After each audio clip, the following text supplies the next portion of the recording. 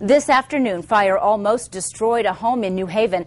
As the flames quickly spread, family members living there say they barely escaped. News Channel 15's Drew Blair is live at the house now with more on what happened. Well, Heather, fire and water restoration crews are already on the scene here, busily working just hours after fire sparked at this home. Firefighters were first called to the home in the Pinestone neighborhood about 1245 this afternoon. Flames shot from the home as fire crews arrived. Five separate fire departments responded to help control the blaze. Officials say it first started in the garage. The New Haven Fire Department says the homeowner was working on his car when it backfired. That sparked flames that quickly grew out of control. A New Haven fire investigator tells me that a tank of nitrous oxide and the car's full tank of gas both exploded, fueling the fire. Flames spread from the garage to the home's attic.